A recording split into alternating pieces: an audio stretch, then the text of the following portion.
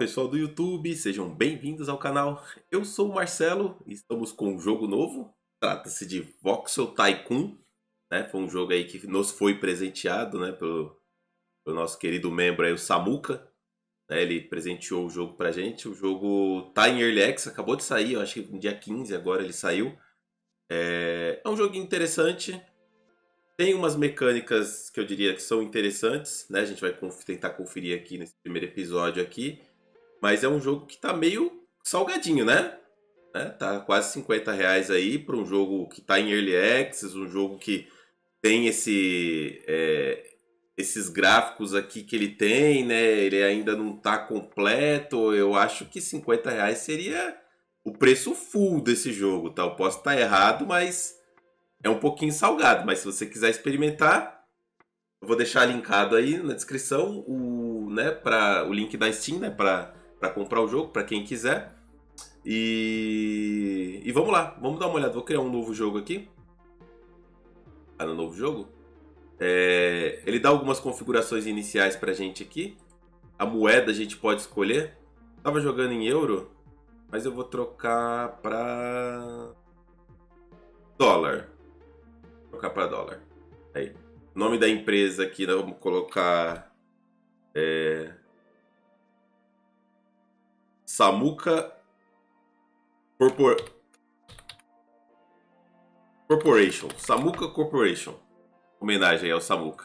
Presenteou com o jogo. Tá? Que você pode escolher várias opções de dificuldade, né? Vou deixar tudo no padrão, tá? Pra vocês verem como é que é o início, o início é bem aleatório, então às vezes você tem que dar um pouco de sorte. Mas assim, não precisa ter sorte, tá? No jogo. Você consegue sempre lidar com o que. Eu vou desligar o tutorial. Você consegue sempre lidar com, com o início que lhe é dado, a partir do momento que você entende como o jogo funciona. Né? Todo jogo é assim. Né? Independente da dificuldade, você sempre tem um caminho para seguir que você vai conseguir. Beleza? Vamos lá, vamos começar aqui. Aí você me pergunta, pô, Marcelo, o que é Voxel Tycoon?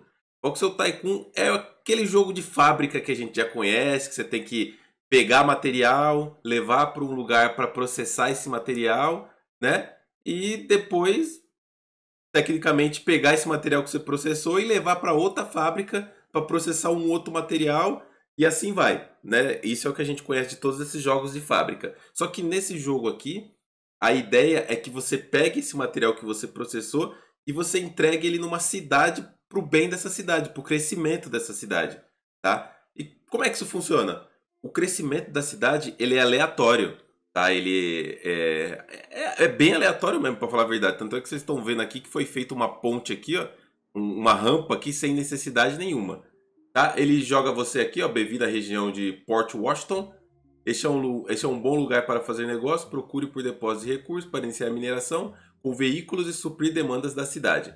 Quando estiver pronto, crie produtos mais complexos, pesquise novas tecnologias e expanda Samuka Corporation para outros territórios. Boa sorte. Por que, que eu coloquei Samuka Corporation? Porque a gente não é o prefeito de uma cidade, tá? Nós somos, como é que eu posso dizer? Vai, o, o presidente de uma grande indústria, né? Que ela comanda é, as entregas de produtos. Deixa eu pausar o jogo aqui que ela comanda as entregas de produtos nas cidades. Então você pode ver que a gente começa aqui com três, quatro cidades aqui no meio. Aqui é a primeira vez que eu começo com quatro cidades, para falar a verdade. Toda vez que eu comecei. Essa aqui tá fora dos meus limites. Toda vez que eu comecei, eu comecei com, com três. Beleza. Começamos com quatro cidades. Pode ver que cada cidade ela é independente e cada cidade ela tem uma demanda. Deixa eu apertar conseguir aqui. Cada cidade ela tem uma demanda. Então aqui, ó, em Bozeman tem um, é, uma demanda de minério de ferro. Tá vendo? Aqui tem uma demanda de madeira em Port Washington. Ó. Aqui em Huntington Beach tem uma demanda de minério de ferro também. E aqui em Vice, Vice City, olha aí, tem uma demanda de carvão. Tá, Marcelo, mas e aí? Como é que o jogo funciona? É como eu falei, você entrega os produtos que a cidade demanda, tá vendo aqui, ó? E conforme esses produtos vão sendo entregues, a cidade vai pagando para sua empresa né? Você começa a ter lucro através da entrega de produtos para a cidade e conforme os produtos vão entrando na cidade, a cidade vai crescendo de maneira procedural, tá? É completamente aleatório. Talvez haja uma maneira de você controlar o crescimento da cidade é, fazendo ruas em locais é, determinados para que depois você desconstrua a rua e a cidade cresça. Tá? Talvez seja possível isso mais para frente. Isso aí só vai depender de vocês para a gente ver uma série um pouco mais longa desse jogo. Tá? Mas a primeira dica que eu dou para vocês é procurem um recurso que tenha demanda perto de uma cidade. Por exemplo, o nosso minério de ferro ele tá lá embaixo, ó. Tá? Ele tá Essas aqui são as outras regiões em volta, tá? Dá para comprar. Quando você clica aqui na cidade, você consegue ver o preço dela aqui, ó. Essa aqui é um milhão. Aí você fala, ó, oh, Marcelo, mas a gente começa com 750 mil. É, a gente começa com 750 mil, mas é 750 mil de imposto, tá? De imposto não, desculpa, de empréstimo. Tá? Isso aqui é emprestado, esse dinheiro aqui. Então a gente tem que pagar esses 750 mil pro jogo. Então, é, por mês aqui, a gente vai ter um, um juros que vai ser cobrado mesmo que a gente não pague. Tá? Esse juros vai ser cobrado. Essa taxa de juros depois ela some que você paga o empréstimo. Beleza? É, que mais? Vamos ver. As cidades ficam em volta aqui. Essa aqui é a HUD, é uma HUD bem simples, tá? Aqui em cima são controles de câmera, aqui são as notificações do jogo, aqui é o tutorial e as opções de menu, aqui embaixo é a área de pesquisa e a velocidade, aqui são todas as suas áreas de construção, onde é dividido por indústria, estradas, trilhos, é, esteiras, né, que a gente ainda não tem, né, parte de modificação de terreno e outros que é para você ver a informação do objeto. Você clica aqui na, na lupinha aqui e ela mostra as informações dos objetos. É, não acho que não. Aí, é que tá liberado já. É que eu, se eu tirar aqui, aí eu não consigo mais clicar, né? É que já tava liberado, tá vendo? Se eu clicar aqui no vai na, na prefeitura aqui de Vice City aqui, ó, Aí não aparece nada, mas se eu ligar aqui a lupinha de volta, aí você pode ver as informações. Beleza? E aqui a ferramenta de desconstrução, né? Que pro provavelmente é uma das ferramentas que você mais usa no jogo é, depois do early game, tá? Porque aí você começa a desconstruir as coisas, que é bem caro desconstruir no jogo, ó, pra você desconstruir uma casinha pequena aqui, ó, 39k, ó, você desconstruir uma casinha pequena. Ó, 29,250. Então toma muito cuidado quando você for construir dentro da cidade, pra você não tomar uma paulada aí no seu orçamento. Então, como eu estava falando, a primeira coisa que você tem que fazer no jogo é procurar um recurso, que nem, por exemplo, aqui tem carvão, tá? Os recursos são finitos, tá? Tem, tem mod já no jogo para você deixar o recurso infinito, só procurar na Steam, é, no workshop, né? Mas aqui, por exemplo, tem 203k de carvão, né? E tem uma cidade aqui perto que demanda carvão, né? Que é Port Washington. Ela também demanda, ao mesmo tempo, madeira. Se a gente for procurar onde está a madeira, a madeira está aqui, ó. Está um pouco mais longe. Você pode ignorar uma demanda? Sim, você pode ignorar uma demanda. Se você ignorar uma demanda, o, o negócio vai falir na cidade. Tá? Por exemplo, se eu ignorar entregar madeira aqui, ele vai me dar alguns avisos no jogo e esse negócio vai acabar falindo porque não tem matéria-prima. Né? Foi o que aconteceu com muitas empresas aí na pandemia. Aí, né? Muitas empresas faliram porque não conseguiam produzir né? Elas tinham os funcionários, tinha tudo, tinha o tempo, mas não conseguia produzir porque não chegava matéria-prima. Então é a mesma coisa. Tá, Marcelo, mas e aí, como é que o jogo começa? Vamos lá. O jogo começa com você construindo a sua primeira mina. E aqui a gente vai colocar uma mina de carvão, né? Ela pode ser colocada em qualquer área é, que ela encoste em um quadradinho que tenha carvão. Tá? É, os preços vão mudando porque tem árvores embaixo. Como eu falei, tudo que você desconstrói você toma uma pauladinha aí nos recursos, então vou colocar essa mina mais ou menos aqui, ó. Vou gastar 10 conto para tirar uma árvore que tem embaixo, né? Cliquei. Aí, a mina de carvão. Deixa eu tirar a pausa aqui, né? Pra gente não perder a, a continuidade do jogo. A partir do momento que a mina de carvão é colocada, ela já começa, ó, tá vendo? A puxar o carvão, tá? Ok, como é que eu levo isso aí? Aqui na parte de estradas, você tem aqui a parte de é, terminais. Dentre esses terminais tem um terminal de carga. Tá? Você pode optar no início do jogo tanto pelo terminal de carga, quanto você pode optar pelo estação de carga aqui, ó, estação de carga ferroviária. Tá? É, eu acho que é essa que eu vou usar aqui no começo do jogo. Eu já usei a de carga de caminhão, tá? Talvez a gente use numa outra cidade ali, mas eu quero começar com essa de carga é, ferroviária, porque eu ainda não testei, eu quero ver como é que funciona essa mecânica no jogo. É... Tá vendo ali que fica azulzinho a mina ali, ó? Conforme eu vou me movimentando, tá vendo? Ela vai mudando, ó. Ela vai mudando. E aí você pode colocar na distância até ela ficar azul. Eu não sei se tem alguma diferença, eu acredito que não. Tá? Eu acredito que não, você colocar longe ou você colocar perto. Desde que você coloque na distância que fique azul ali, você já começa a puxar recursos, tá? Aqui, ó, já tá marcando ali que tem é, 17, 18 de carvão, tá vendo? Ela tá puxando, o, o puxando não, ela tá é, mostrando o carvão que tem disponível na mina, já tá disponível aqui para mim. Se eu clicar, onde é mesmo que eu clico para ver as informações de, de logística? Eu não lembro onde é, mas eu acho que é quando eu for colocar o trem. Tá? Nossa estação tá pronta ali. Tá, e aí, o que, que você tem que pôr agora, Marcelo? Agora você tem que construir o trilho. Né? Porque você tem que fazer outra estação para receber esses produtos. E onde que eu tenho que colocar essa estação? Eu tenho que colocar essa estação, tipo, por exemplo, aqui, ó, ao alcance. Se eu colocar aqui, vai, vai dar ruim, né? Tentar pôr ela. É que assim, depois, é o que eu falei para vocês, depois você tem que tomar cuidado com com a desconstrução, né, que você vai ter que fazer em volta dessa cidade. Então toma muito cuidado onde você vai pôr, que depois você pode se complicar aí para desconstruir as coisas, né? Vou colocar a estação aqui. E aí, no final, eu não sei se realmente precisa, tá? Mas é, eu acho que é interessante colocar um depósito no final e um depósito na outra ponta aqui, ó. Um depósito aqui na outra ponta. Assim, tá vendo que ele pluga ali automático, né? Quando tá vendo o trilhozinho ali mostrando ali que plugou. Beleza, depois de plugado, eu vou construir um sistema de trilhos para levar esse material até lá. Tá? Tem, acho que tem, não sei se o trilho tem as mesmas opções de construção da estrada, deixa eu ver.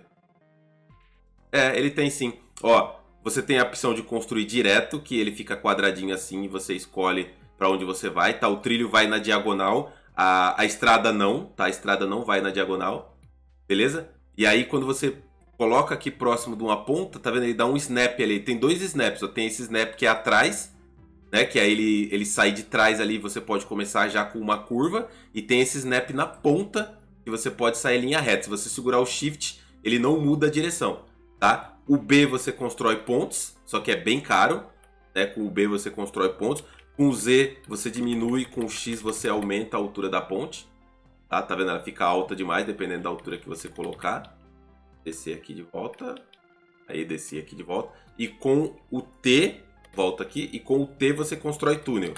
Tá? Com o T você, mesma coisa. O X, o Z você desce e o X você sobe.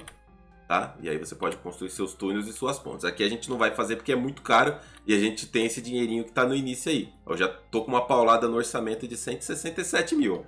Então o que, que eu vou fazer? Eu vou plugar esse trilho aqui embaixo, né? Como eu falei, se eu sair da ponta aqui, ele não me deixa é, mudar a direção.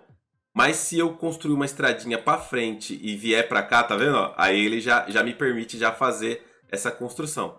Então vamos tentar plugar esse cara aqui. Infelizmente eu vou ter que fazer uma curvinha aqui.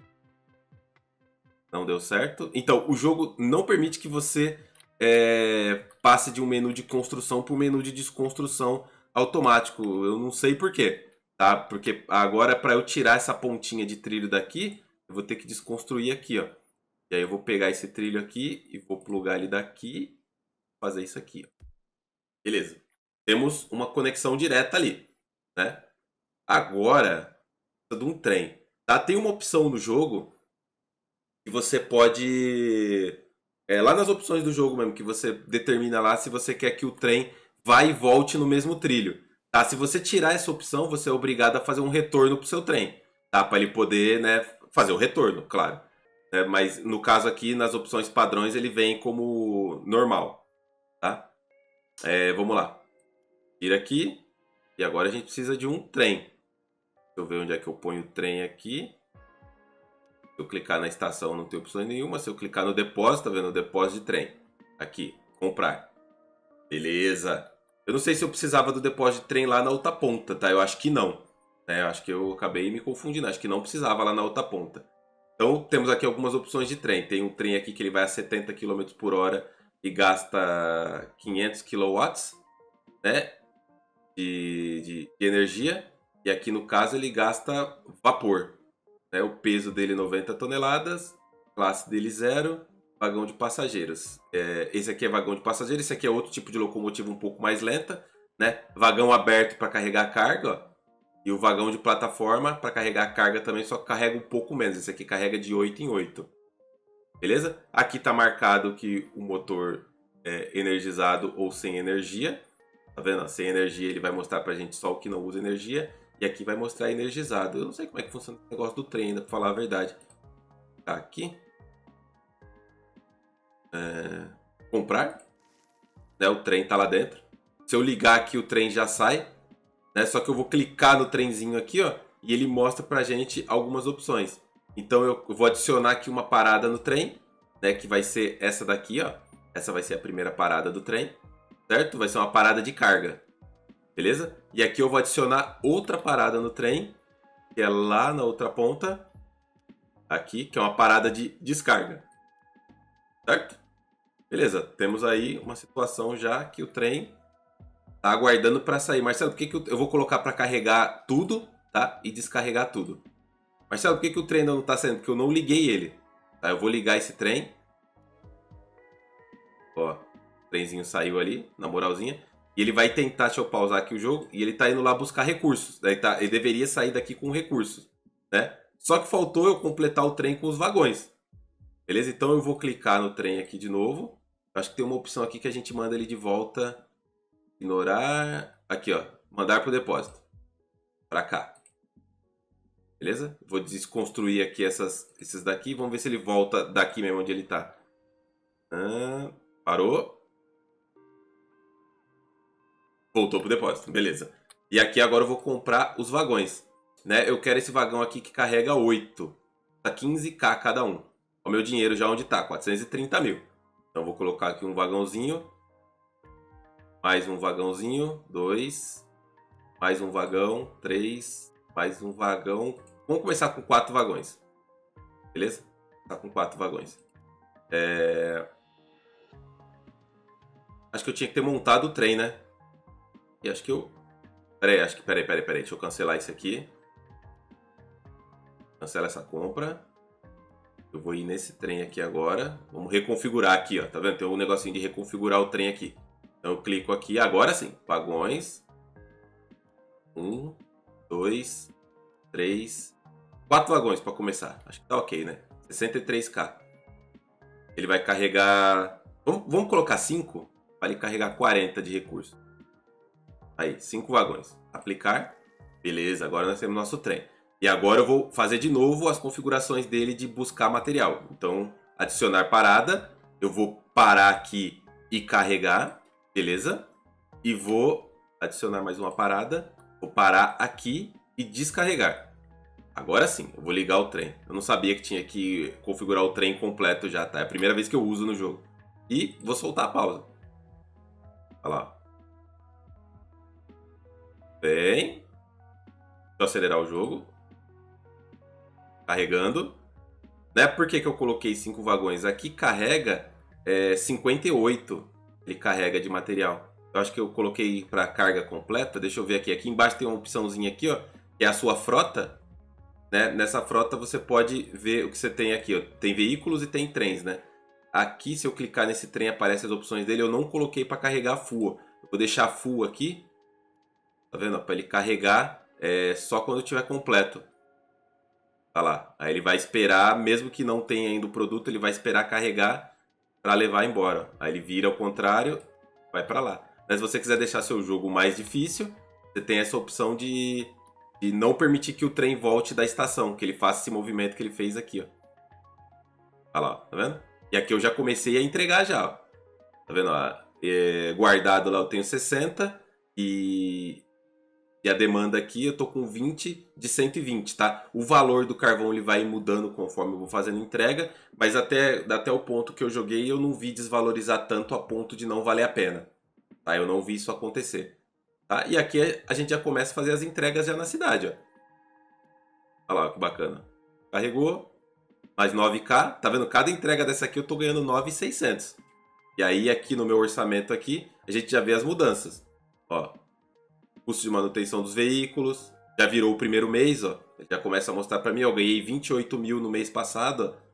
Tá vendo? Taxa de juros, paguei 7.500 de juros pro banco.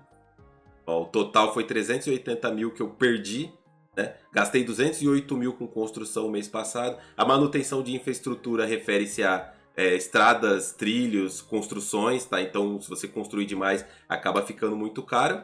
E com isso aqui, a gente já tem nosso primeiro sistema. Olha, as entregas já estão ocorrendo já, tá? Lembrando que cada entrega tem que ser feita numa estação, tá? Depois, mais para frente, a gente vai poder controlar esse, esses trilhos através de sinais né? Não é o intuito desse primeiro episódio aqui. Esse primeiro episódio aqui é mais mostrar para vocês como é que o jogo funciona. Aqui a gente já tá no lucrão já, tá? Se eu largar o jogo aqui do jeito que tá, o que, que vai acontecer? O carvão vai ficar verde e, essa, e, essa, e esse outro comércio aqui, que é o comércio de madeira, vai começar a tomar uma paulada, né? Vai começar a ficar sem madeira e vai acabar falindo. Então o que, que nós vamos fazer? Vamos focar nessa primeira cidade aqui, Port Washington, e vamos só ignorar as outras, tá? Porque essa aqui tá pedindo minério de ferro, e o minério de ferro tá aqui embaixo, ó. É, se lascamos aí no minério de ferro, saiu lá embaixo. Agora vamos fazer o seguinte, ó, aqui tá pedindo carvão também, ó. Aqui também tá pedindo carvão. Então o que a gente pode fazer? A gente pode pôr outra... É...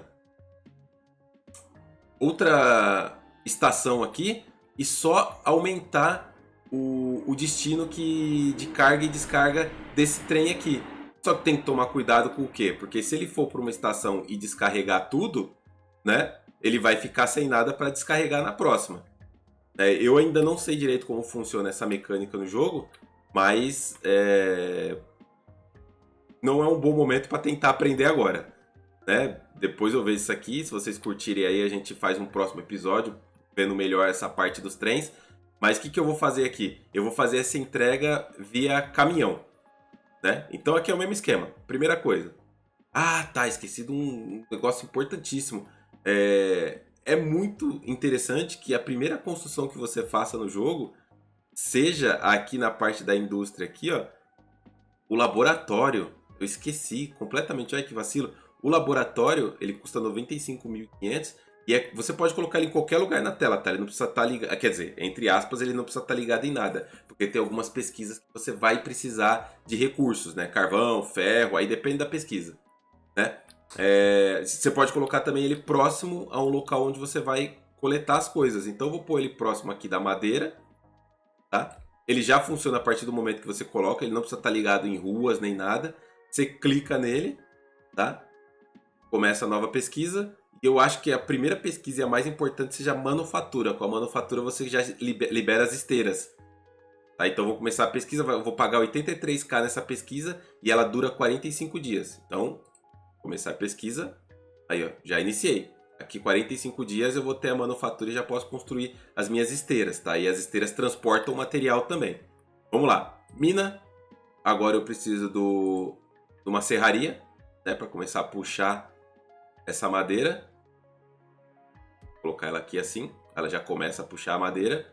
Agora eu preciso clicar aqui em estradas e terminais. Agora eu não vou usar um terminal é, eu não vou usar um de trem, né? Eu vou usar um, uma estação de carga. Aí essa estação de carga ela pode ficar no mesmo esquema, ó, na distância que, é, que fique azul ali. Tá? Se eu colocar aqui, ó, tá vendo? Ele vai liberar para o laboratório também, ó. Se eu colocar aqui. Então vamos colocar aqui, ó. Tá? Que aí ele fica a madeira disponível para o laboratório caso precise para fazer a pesquisa.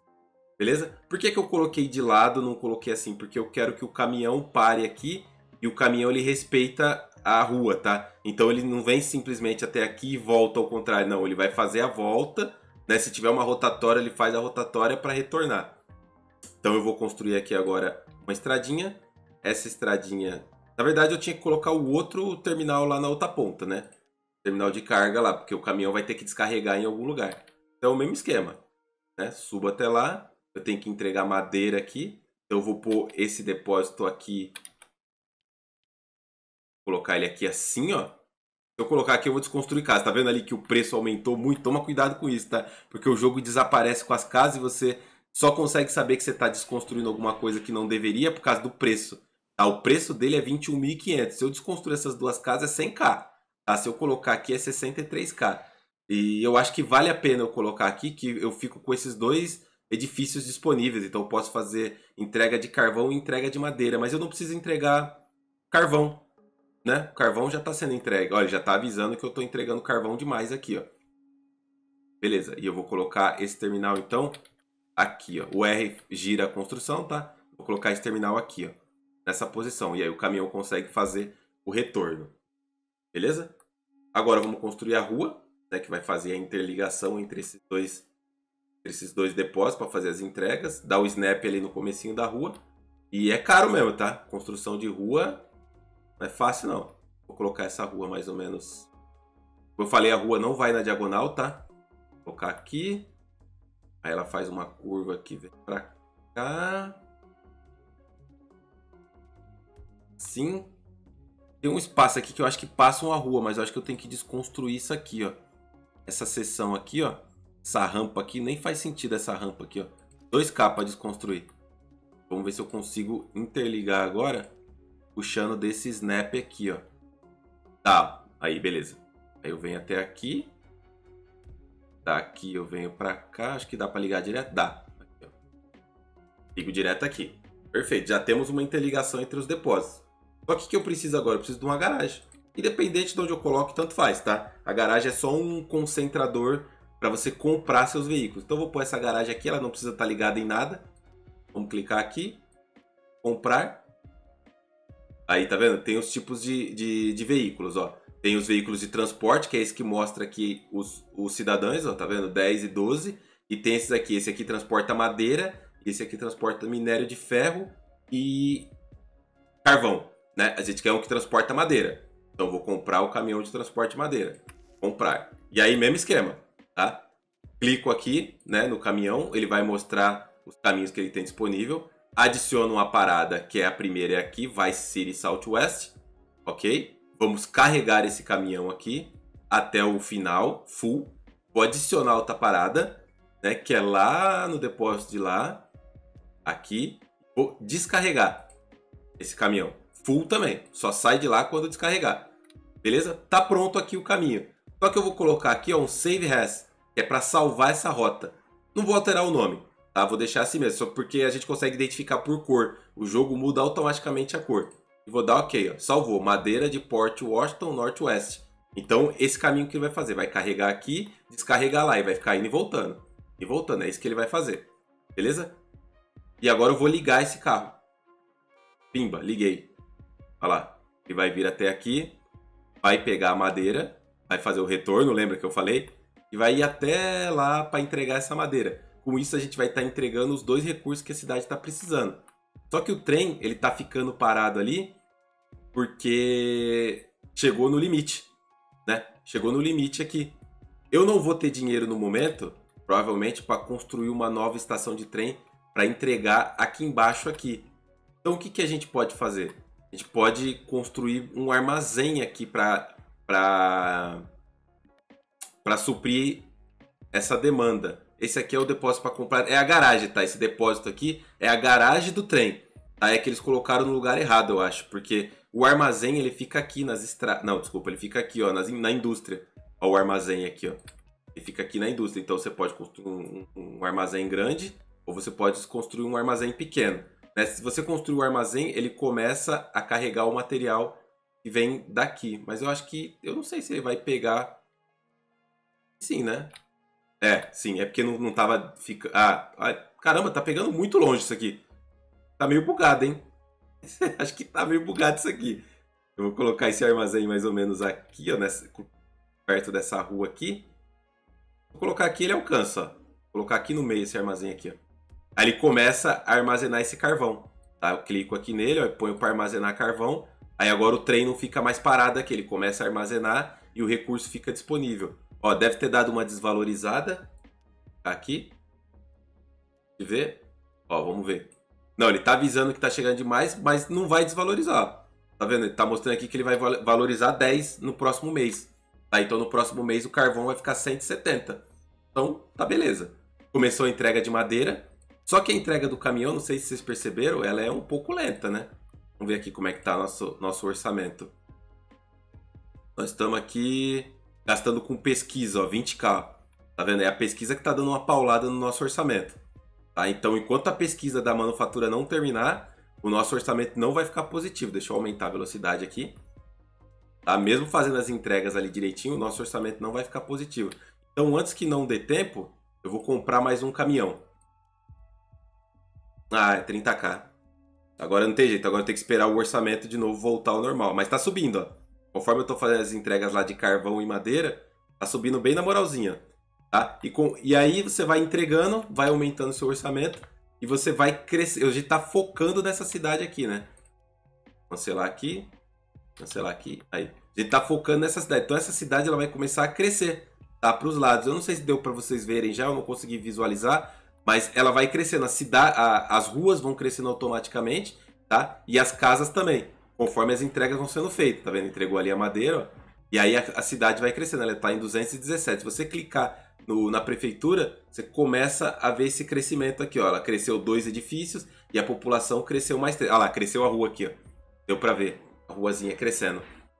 Beleza? Acho que deu pra entender a mecânica básica do jogo, né? Como é que funciona. Então o que, que eu poderia fazer aqui agora, a partir daqui? Eu já tenho, comecei a armazenar carvão aqui. Então o que eu poderia fazer? Eu poderia construir aqui mais um depósito, né? Esse depósito ia pegar carvão daqui ia colocar no caminhão e a gente conseguiria trazer é, para cá com o caminhão, ao invés de trazer com o trem. Então o trem encurtou essa distância de lá até aqui, tá? E daqui para cá, hum, eu acho que esse carvão aqui não está disponível para cá, hein? É, eu acho que eu cometi um erro aqui, viu? Acho que esse carvão não está conseguindo sair daqui. Mas é bom porque aí o excedente eu consigo entregar aqui com o caminhão. Né? Tá vendo aqui? Eu já posso construir mais um caminhão.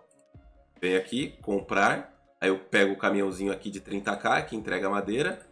Comprei, né? Olha a mecânica interessante do jogo. Clico aqui no caminhão e em vez de eu fazer a rota de novo, eu simplesmente venho aqui e escolho a rota de madeira. Pimba, pronto, já está tudo configurado. E agora eu ligo o caminhão. Olha lá, mesmo esquema. Desceu, pegou a madeira e foi entregar, tá? Infelizmente, no início do jogo você tem que esperar um tempinho para é, armazenar dinheiro. Mas é aquela velha história, é o que eu falei para vocês, tá?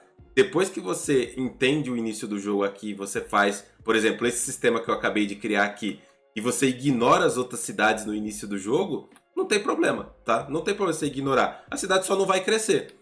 Não, não tem problema. Já tá vendo? Meu, meu saldo aqui já começou a ficar positivo, ó.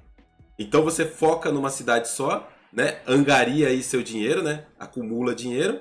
E depois já era, meu amigo. Depois é exponencial o crescimento das cidades. É só você ir gastando esse dinheiro que você está acumulando. Deixa eu ver aqui como é que tá a pesquisa. Ah, já completou. Nem vi que tinha completado a pesquisa da manufatura. Então a gente liberou as esteiras. Tá? Então se você curtiu, né, deixa seu like aí, deixa seu comentário que você achou do jogo. Se valer a pena, né, a gente continuar isso aqui como uma série, no próximo episódio a gente dá uma olhada no sistema de esteiras do jogo. Beleza? E é bem interessante também. A gente se vê lá. Valeu. Falou.